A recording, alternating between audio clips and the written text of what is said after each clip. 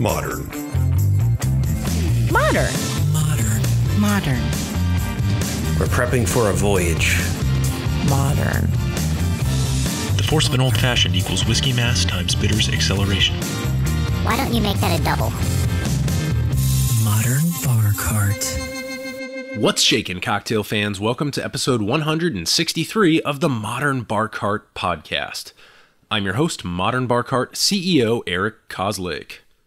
Recently, we had the great honor to be featured in the New York Times, along with a bunch of other noteworthy beverage podcasts, in an article called Seven Podcasts to Serve Shaken or Stirred.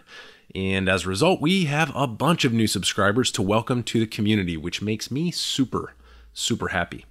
So I think it's only fair that after a couple blockbuster interview episodes with Caroline Rosen of the Tales of the Cocktail Foundation and Ivy Mix of Leyenda, author of Spirits of Latin America, that we should give our new listeners a taste of something a little bit different here. That's right, this is a Bar Cart Foundations episode where we go narrow and deep on a single topic in the beverage world in an attempt to make you an overnight expert, or at least give you a little inspiration for your next drink project. This time around, we'll go well off the beaten path to learn about a few cocktail ingredients that you've probably never heard of. But before we get too far ahead of ourselves here, I think this is the perfect opportunity for you to make yourself a drink. Staying on theme with the episode, this week's featured cocktail ingredient actually comes to us courtesy of Lagoon of Mystery on Instagram. Great tiki handle, by the way, who messaged us following our recent interview, as I mentioned, with Caroline Rosen, in which we discussed the hurricane cocktail. It was brought to my attention that there's a side to the hurricane that may involve everyone's favorite tiki maverick, Ernest Gantt, aka Don Beach, aka Don the Beachcomber, who, like the hurricane, has ties to the city of New Orleans. Actually, since we're talking tiki here, could we get a little Exotica soundtrack playing instead of the uh, usual jazz music? That's better.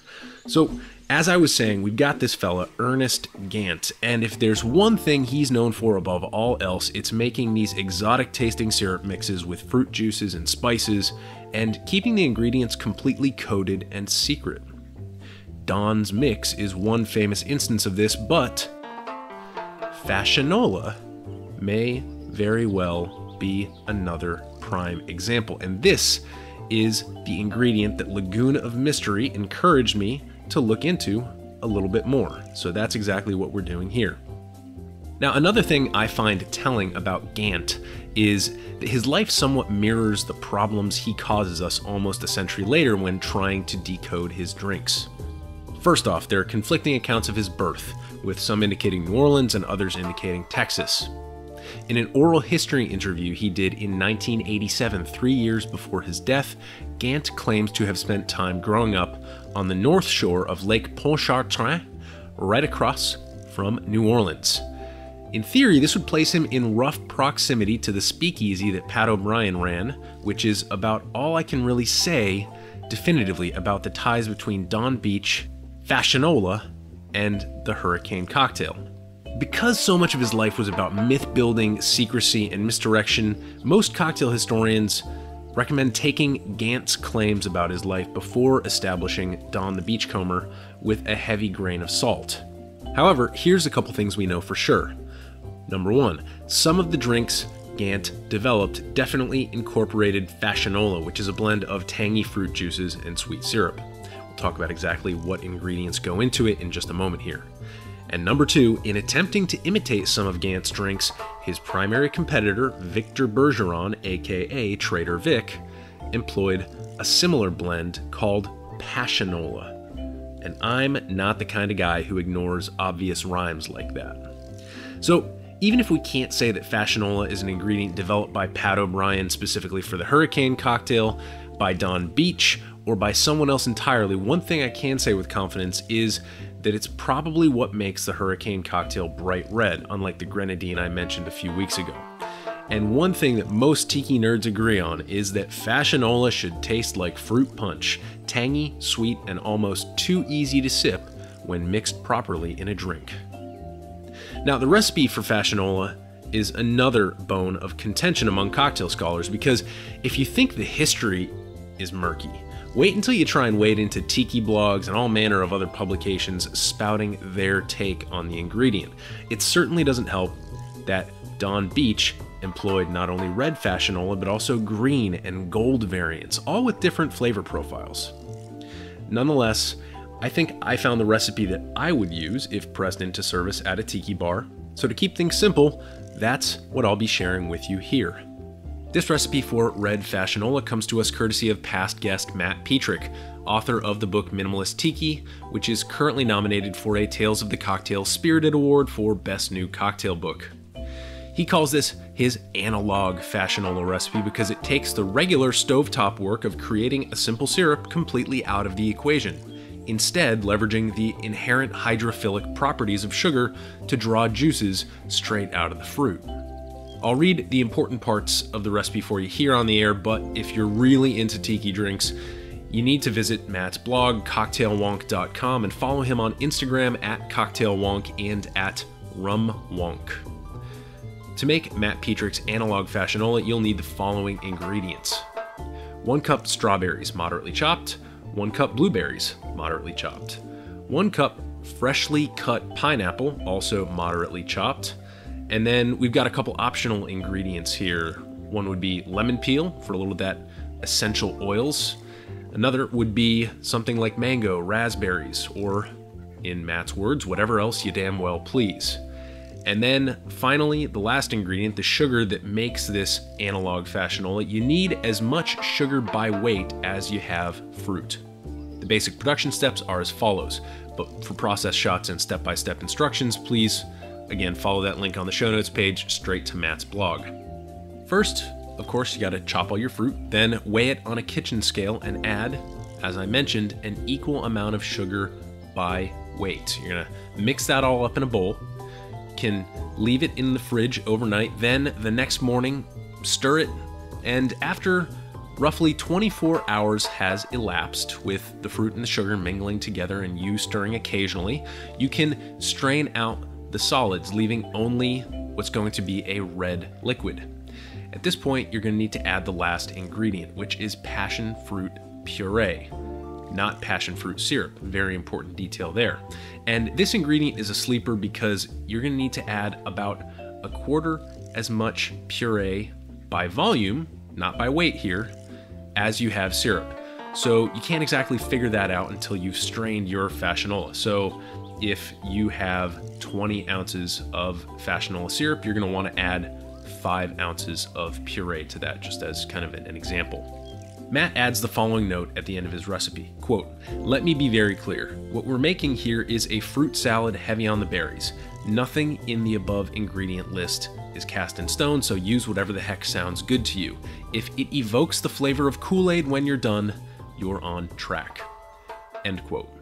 To me, Matt's recipe has a bunch of things going for it, the most important of which are its ease of execution, right? You don't even need to heat up this fassionola, and its flexibility.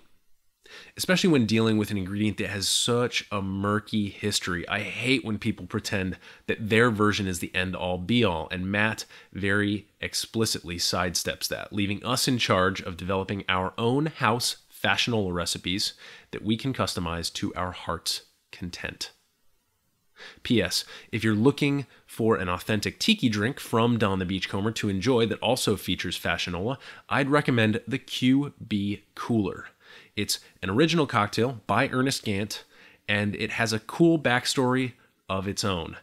But like so many things in the world of tiki, the QB Cooler is a story for another day. So, now that we've achieved a bit of resolution on the fassionola front, let's jump right into this Bar Cart Foundations episode where we discuss even more cocktail ingredients you've never heard of. Enjoy.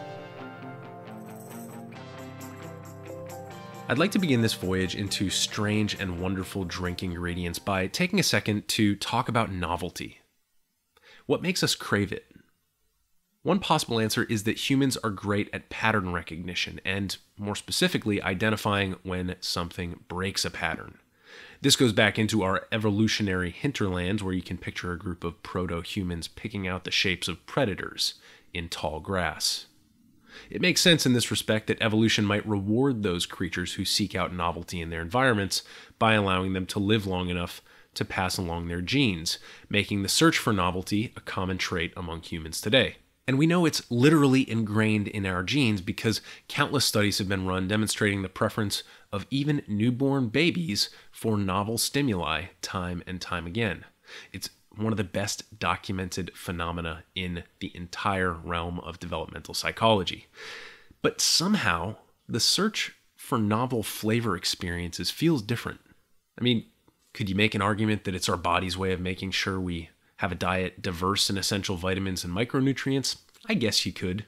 That sounds plausible to me, but that's not exactly an ironclad explanation for why distillers are constantly experimenting with weird cask finishes on their whiskeys, or why bartenders are obsessed with smoking, clarifying, fermenting, and infusing with all kinds of weird stuff. However, you choose to think about the role of novelty in your personal or culinary life, one thing is certain when you're stuck at home and all your favorite bars and restaurants are closed or doing takeout during a pandemic, things can get a little bland, a little monotonous. Whether it's that same room you sit in day after day or the realization that you've been cycling the same five or six staple meals over and over for months now.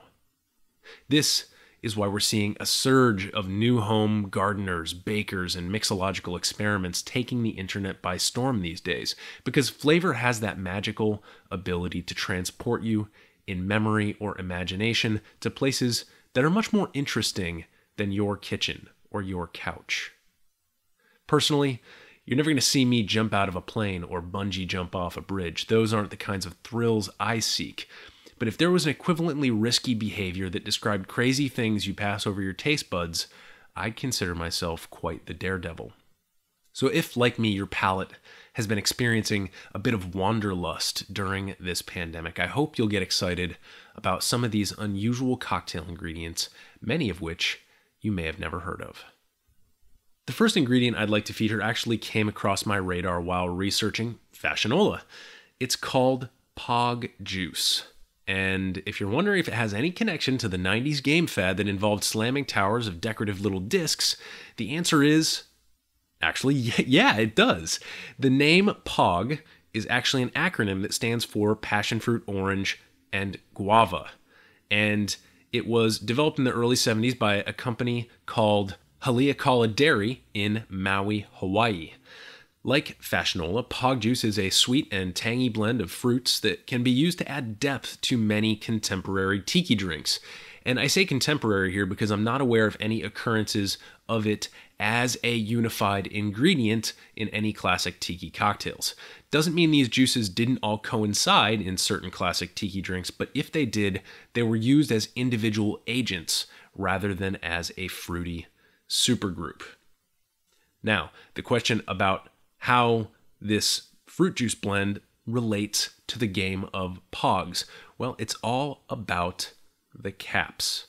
Basically, these were sort of like milk caps used on the jugs that contain this pog juice. And there's a great little documentary that I will link to on the show notes page over at modernbarcart.com forward slash podcast showing how this game took first the island of Maui by storm, and then was turned into sort of an international fad in the 90s. It it's a really really funny documentary and if you have any sort of 90s nostalgia, it will drive you absolutely bananas. So go ahead and check out that video over at modernbarcart.com.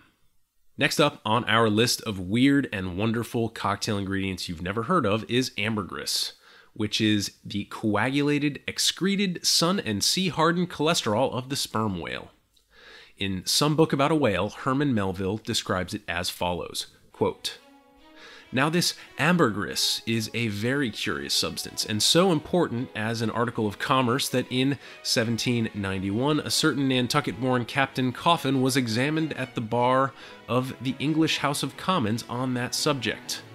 For the first time, and indeed until a comparatively late day, the precise origin of ambergris remained, like amber itself, a problem to the learned. Though the word ambergris is but the French compound of grey amber, yet the two substances are quite distinct, for amber, though at times found on the seacoast, is also dug up in some far inland soils, whereas ambergris is never found except upon the sea. Besides, amber is a hard, transparent, brittle, odorless substance used for mouthpieces to pipes, for beads and ornaments, but ambergris is soft, waxy, and so highly fragrant and spicy that it is largely used in perfumery, in pastiles, precious candles, hair powders, and pomatum. The Turks use it in cooking and also carry it to Mecca, for the same purpose that frankincense is carried to St. Peter's in Rome. Some wine merchants drop a few grains into claret to flavor it. Who would think then that such fine ladies and gentlemen should regale themselves with an essence found in the inglorious bowels of a sick whale? Yet so it is. By some, ambergris is supposed to be the cause, and by others, the effect of the dyspepsia in the whale. How to cure such a dyspepsia, it were hard to say, unless by administering three or four boatloads of Brandreth's pills and then running out of harm's way as laborers do in blasting rocks. End quote. To be honest, this was like my favorite part of Moby Dick, which is as much a discourse on the state of the whaling industry at the height of its prominence as it is a revenge tale where a bunch of guys die at sea. Now, here's the next thing you need to know about ambergris it's illegal to possess in the United States. Now, here's the next next thing you need to know about ambergris. It's actually recognized by the FDA as GRAS, or generally recognized as safe, as a food additive. So, why does the FDA permit ambergris as a food additive, and yet people aren't even allowed to possess it? Well, unfortunately, it is also possible to harvest ambergris directly from a sperm whale which is like way illegal. There's actually a description of this in Moby Dick, but the whale in question is found already dead. So it's icky in the gross way, but not as much icky in the unethical way, but still a little icky in the unethical way because, you know, killing whales is bad. According to a number of articles I sourced, it's been roughly two decades since people have even received letters of warning for possessing or selling ambergris in the US because of the three following reasons. A. Ambergris is most often found washed up on beaches, making its collection completely harmless to sperm whales. B. Ambergris collected from a slain sperm whale is generally of much poorer, read non culinary quality because it hasn't had the time to cure in the salt and air of the ocean. And C. These two factors paired make it completely silly for anyone to go out killing sperm whales for poor quality ambergris. It's just not a lucrative proposition. So, suffice it to say, ambergris is still illegal to possess here in the US for highly symbolic reasons, but it's one of those laws that you're just not going to see enforced, which means a bunch of aspiring bartenders have been using it for over a decade to gussy up their cocktail menus. Regarding the taste of ambergris, most people in the perfume world use it as a musky fixative. In other words, a thing that keeps the stank on your skin longer. After all, it is a type of fat, and fats are good for that sort of thing. But when it's properly aged, battered for years by waves on the high seas, many describe its incredibly potent bouquet as a sophisticated brininess, almost like umami for your nose. Our favorite 18th century gastronome, Jean Antoine Brillat Savarin, author of The Physiology of Taste, was fond of putting ambergris in his hot chocolate, and King Charles II of England enjoyed it as a seasoning for eggs. In fact, it's rumored that ambergris was used to conceal the odor of whatever poison was slipped into the king's breakfast on the morning that he died. In cocktail applications, you'll see people use it in tincture form, which is a great way to extract flavor from fats, but you'll also find it grated in very small amounts into large format punches. In fact, the only time I've ever had ambergris in a cocktail was when Dave Wondrich crashed a cognac presentation by Maison Ferrand during Tales of the Cocktail 2016. I believe it was 2016. He helped the cocktail apprentices whip up a brandy based punch, and included a little bit of ambergris, and I gotta say, it was pretty tasty, if my memory serves me correctly. The last thing I'll note here is that there seems to be some sort of tradition of using ambergris in a beverage called Negus or Negu punch. There's an article by past podcast guest Derek Brown from 2011, which I'll link to in the show notes, outlining the process for this drink. So if you're looking for a place to start with your next freshly acquired lump of whale cholesterol, that might just be the place to start. This next duo of cocktail ingredients comes to us courtesy of a recent Facebook post by DC bar owner Jojo Valenzuela, who runs The Game and Tiki on 18th. He's one of my favorite people in the DC hospitality scene, and he's a huge champion for Filipino flavors, which often represent a fusion of Southeast Asian and Spanish cuisine. Hailing from the Philippine archipelago, two cocktail ingredients you've probably never heard of before are lambanog and pandan, the latter of which JoJo recently featured in an article on liquor.com, which we'll link to, of course, on the show notes. And we're going to give you that cocktail recipe in just a few minutes. Lambanog, however, is the logical place to start because it's the national spirit of the Philippines, and the history of this beverage goes roughly as follows. When the Spanish arrived to colonize the Philippines in the 16th century, they found that the natives were drinking a palm wine called tuba, made from fermented coconut or nipa palm sap. There's some uncertainty about whether Filipinos were actually distilling that palm sap before the Spanish arrived, but there are records of both primitive wooden stills made with barrels and wooden troughs, as well as more sophisticated metal contraptions that sprang up later on, following the Spanish acquisition of the islands. Finally, within a century or so of the Spanish arrival, there were hundreds of distilleries operating both legally and illegally to make lambanog, which would be considered a palm brandy or palm wine eau de vie using today's spirits classification terms. Now, there's an interesting question here about what we know and what we don't know about how distilling technology spread across the world. Is the rustic Filipino style still a low tech version of the alembic still that came to the Spanish by way of the Arabs who invented it? Or is the Filipino style still something that cropped up on its own through contact with other pre Columbian distilling cultures? Interestingly, this is also a major subject of debate in the Mezcal community, where you'll find a good number of Filipino style stills that date back roughly to the time of Spanish colonization, or according to certain scholars, perhaps earlier than that. I bring up this question because I just can't find any good scholarship on the subject, and my main concern here is being able to give credit to cultures that were distilling before contact with European colonial powers.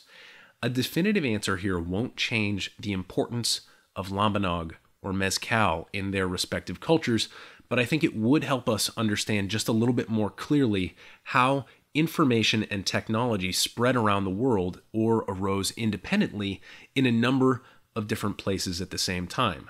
History is all echoes and reverberations, and if you want to really grasp an historical subject, it pays to track those sounds to their source wherever possible. Today, lambanog plays a similar role that vodka might in Filipino drinking culture. You can get the traditional unflavored stuff, or you can opt for one of the newer flavored variants on the market for mixing with various sodas, etc. It does find its way to the US, but remains one of the least known spirits on the American market, which means that there's lots of room to explore this really interesting traditional category. Now, getting back to pandan. This is a leafy palm like plant native to Southeast Asia that's used in a whole boatload of culinary applications, where it's employed alternately as an herb, a green food coloring, a garnish, or even as an air freshener. Sometimes the leaves will be woven into baskets for the purpose of steaming rice in order to impart a bready, nutty, slightly rich flavor to the dish. You don't really want to eat pandan. It's kind of tough and stringy, but it does make for a striking aromatic garnish, and you can also infuse the leaves into a spirit or a syrup for a really striking color and flavor experience. The recipe for Jojo Valenzuela's pandan infused daiquiri riff called the Don Quixote is as follows. one and a half ounces of Don Q crystal rum, one ounce mango pandan syrup, which is a pandan infused simple syrup with some mango puree blended in, one half ounce fresh lime juice, and one half ounce Appleton Estate 12 year rum for a little bit of richness, sweetness, and depth.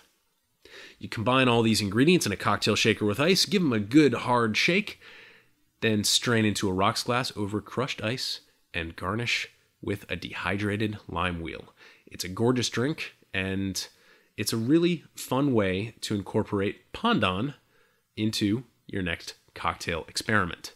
Personally, I'm stoked to try both Lambanog and Pandan sometime soon, so I hope you'll join me in keeping our collective eyes open for places that serve or sell these quintessential Filipino ingredients. Next up, we've got another duo of ingredients, but unlike everything we've been talking about so far, these are a little less natural and have a bit of a spotty past. They are acid phosphate and aromatic spirit of ammonia.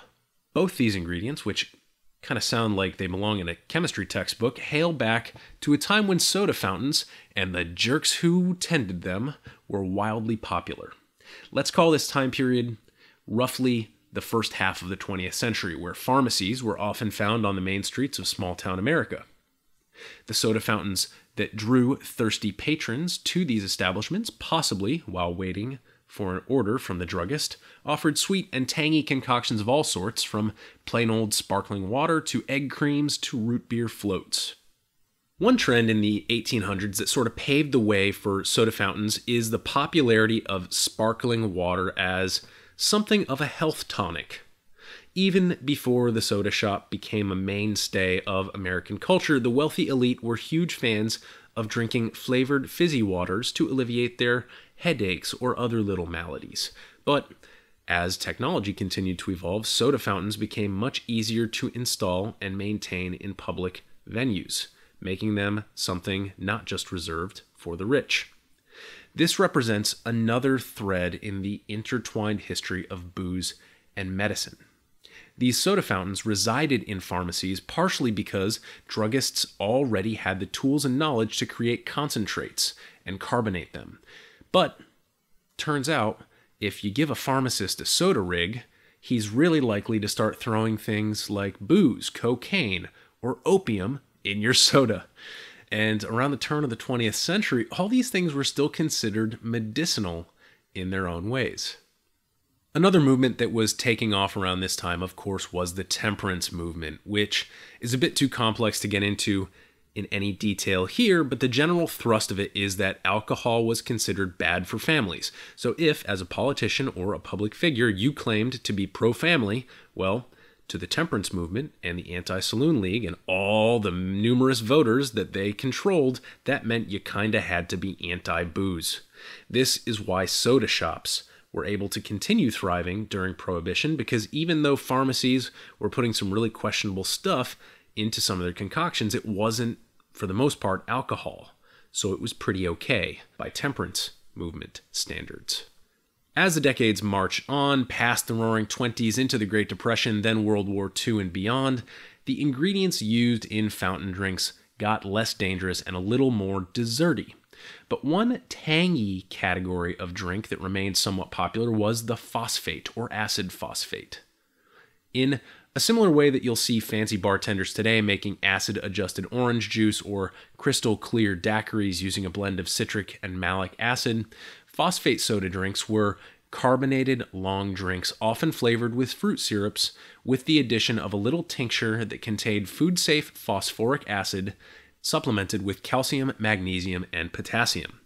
According to cocktail writer Wayne Curtis, quote, Acid phosphate does two bewitching things to a drink. The acid gives it sourness without making it taste like anything in particular, and the salts enhance existing flavors, much as they do with food.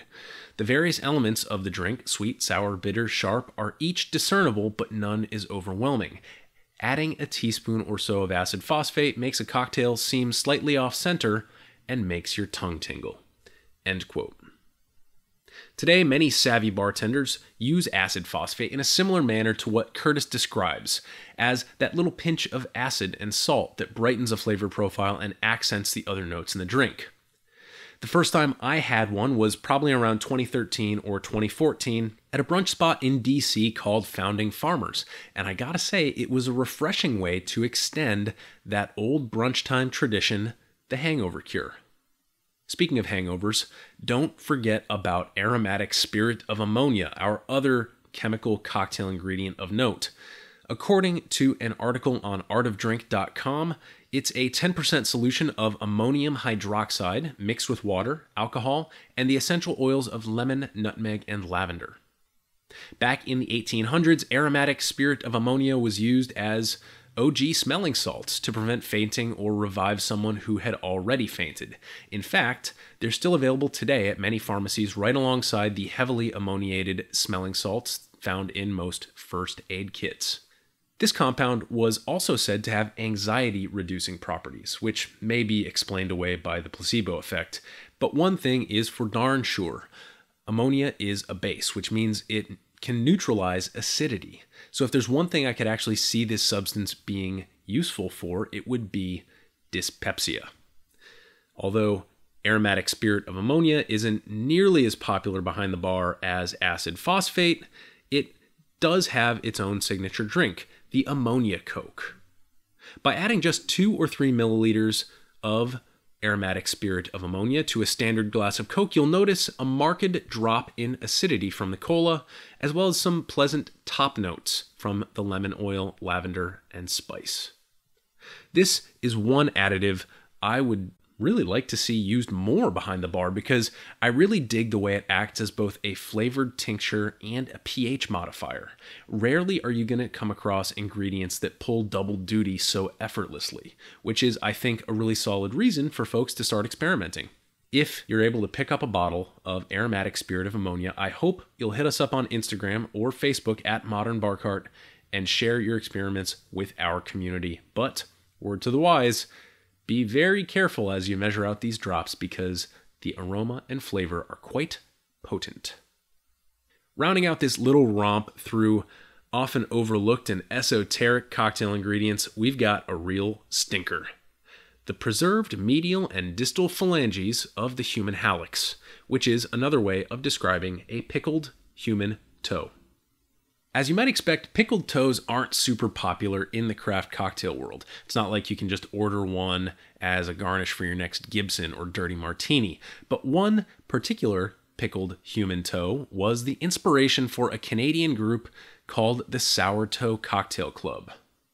For more about this obscure ingredient, I need to quote directly from an article by CBC Canada, which reads, quote, the Sour Toe cocktail is practically a rite of passage for visitors to Dawson City, Yukon. It's a simple drink, a shot of whiskey, usually Yukon Jack, with an unusual accompaniment, a mummified human toe. How did the Sour Toe cocktail come to be? It all started during Prohibition with a nasty case of frostbite. In the 1920s, the rum running Lincoln brothers, Louis and Otto, got caught in a blizzard. Louis put his foot through a patch of ice and soaked his foot. When the brothers got back to their cabin, Louis's right foot was frozen solid. To prevent gangrene, Otto used his axe to chop off Louis's toe. He placed the toe in a jar of alcohol to commemorate the event. In 1973, legend has it that Captain Dick Stevenson found the jar and the toe in a remote cabin. He came up with the idea of the Sour Toe Cocktail Club, an exclusive club with one membership requirement. In order to gain admittance to the club, potential members must drink the legendary Sour Toe cocktail. There's just one rule you can drink it fast, you can drink it slow, but your lips must touch that gnarly toe. End quote. Now, if you didn't think this story could get any weirder, of course you're wrong, because in 2013, a, wait for it, New Orleanian named Joshua Clark came in and swallowed the mummified toe of Louis Lincoln. This put him on the shit list of toe master Terry Lee, and although they have been able to continue the tradition with a backup toe, Since that fateful day, the damage was done. Clark immediately paid the $500 fine for swallowing the toe, but was subsequently banned from the downtown hotel where the tradition continues to take place. There's a really fun 20 minute documentary about this whole situation on YouTube, which we'll embed on the show notes page, where Joshua, the guy who swallowed the toe, returns to Dawson City, Yukon in an effort to make amends with the toe master and the rest of the locals. It's actually a, really great little watch, especially if you have a drink in hand. So I won't spoil it for you in case you'd like to head over to the show notes page and see for yourself how this story concludes. I'm Modern Bar Cart CEO Eric Kozlik. I hope this brief, silly little foray into a few cocktail ingredients you probably never heard of has been both intriguing and maybe even a little exciting for you.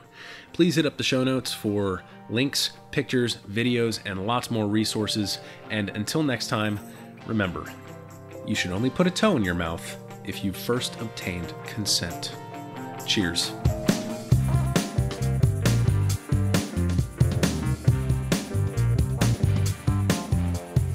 Hey, everybody, thanks for listening. If you enjoyed this episode, there's two big things you can do for us here at Modern Bar Cart. One would be to tell your friends and family if you think they'd enjoy listening to us talk about cocktails.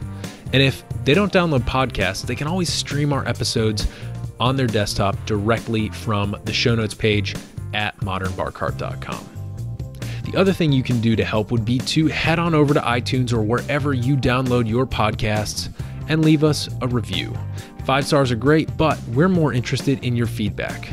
And the beauty is, the more reviews we have, the easier it will be for other folks out there to learn about our show. We're trying to start a cocktail revolution here, and by spreading the word, you're helping us fight the good fight. You can always reach us by emailing podcast at modernbarcart.com if you're looking for cocktail or bartending advice, or if you're a pro who would like to pull up a mic and be interviewed for all to hear. Also, definitely follow us on Instagram and Facebook at Modern Bar Cart for cocktail porn, recipes, and entertaining tips. And keep an eye out for new product releases and special offers, which are happening all the time. We love our listeners and we really enjoy giving you exclusive discounts and sneak peeks at our latest and greatest cocktail projects. This episode may be over, but for you, the mixological fun and adventures are just beginning, so remember, folks, drink responsibly and experiment boldly.